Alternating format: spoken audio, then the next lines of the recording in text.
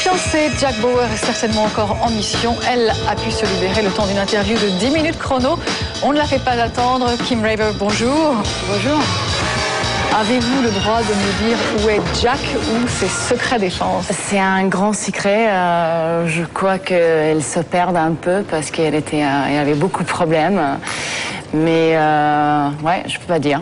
Alors 24 heures chrono à la base, c'est un thriller, mais la série n'aurait sans doute pas eu la même résonance aux États-Unis et dans le monde s'il n'y avait pas eu les attentats du 11 septembre. Avec sa menace permanente, son obsession du terrorisme, 24 heures ne cultive-t-elle pas la paranoïa des Américains?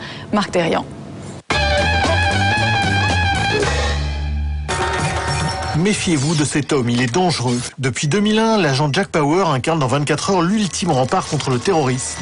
Fantaisiste, pas depuis le 11 septembre, jour où la réalité a dépassé la fiction. Je crois que c'est surtout la, première série euh, post-11 septembre, c'est-à-dire fondamentalement paranoïaque, où, euh, où, tout le monde est suspect, tout le monde est coupable avant qu'on ait fait la démonstration absolue qu'il soit innocent. Le 11 septembre a donné aux scénaristes de 24 un champ d'action illimité. Dans un monde confronté au terrorisme, toutes les menaces deviennent sérieuses. There's a nuclear device under terrorist control that's on US soil.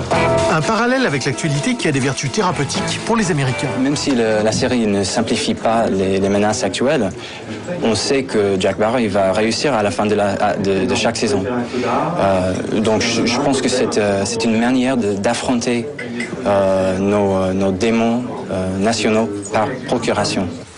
La violence est l'autre moteur de 24. On cogne et surtout on tire sur tout ce qui bouge. Résultat, déjà 237 morts en 4 saisons et c'est pas fini. Même les acteurs de la série sont dubitatifs. C'est un problème pour moi. Il y a de quoi être perdu. Mais vous savez, la violence fait vendre. Mais le vrai tabou auquel s'attaque 24, c'est la torture. Là encore, rien ne nous est épargné avec des scènes souvent difficiles qui peuvent provoquer des effets pervers. Le fait qu'un héros positif euh, se livre à des actes de barbarie euh, est quelque chose de fondamentalement révoltant. Quand on a ce rapport toxicomane à la série, qu'on regarde, eh bien, on a tout d'un coup des réflexes de spectateurs qui sont des réflexes extrêmement alarmants pour soi-même. C'est-à-dire que quand on voit un type qui vient du Moyen-Orient, on le regarde en se disant Ah, celui-là, il a quelque chose à se reprocher. Paranoïa, violence, complot, c'est le cocktail explosif qui continue de faire le succès de 24. Jack Bauer n'est pas encore au chômage. La série sera portée sur grand écran d'ici 2008. C'est une série qui peut rendre les Américains un peu parano. Vous pensez que les Américains font la différence entre 24 heures, la série télévisée et la réalité? I think, um... Vous savez, il y a, il existe de la, de la violence dans les médias aujourd'hui, c'est vrai. Et je pense que le public, on doit accepter que le public saura faire la différence. Ce qui est important, c'est que oui, c'est vrai qu'il y a beaucoup de torture dans 24 heures chrono.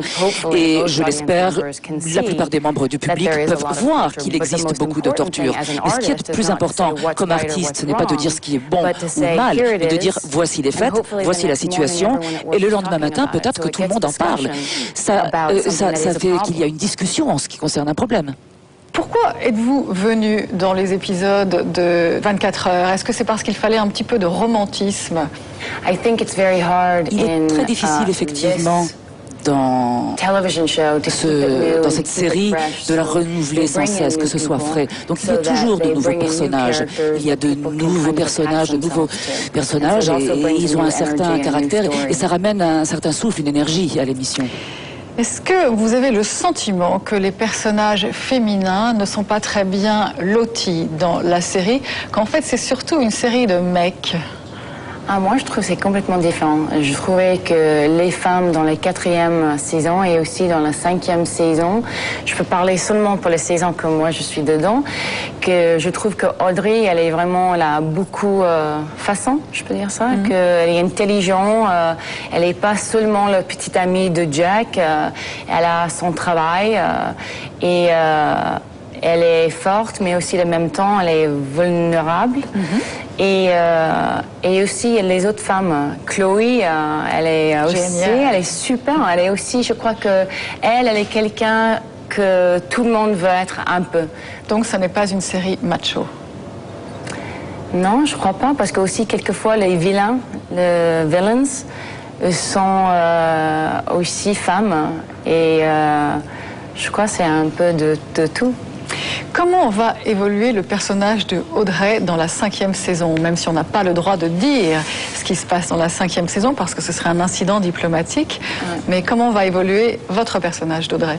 Je peux dire que moi, je trouvais que j'ai dit à l'écrivain que je veux qu'elle est complètement différente, parce que j'ai trouvé que c'était bien toutes les choses qu'elle a eues, mais euh, je crois que moi, je, pouvais pleurer. Euh, euh, pour quelques scènes, mais pas pour toutes les saisons. C'était un peu d'être un victime tout le temps. Elle a beaucoup pleuré, oui. Ouais, ouais. J'ai dit que je veux être plus dans le CTU et travailler. Dans l'action. Euh, oui, dans l'action. Et pas être victime. Et, euh, et aussi, on verra si Jack revient. Et on est sûr que oui. Et vous Et pardon? Et vous Vous allez revenir pour une saison 6 oui. aussi? Elle est 6, ouais. Je vais essayer. Je, je vais faire un autre série mais je vais essayer de faire les deux en même temps. Mhm. La série va être adaptée au cinéma. Le film va être tourné en 2007. Est-ce que vous ferez partie de l'aventure?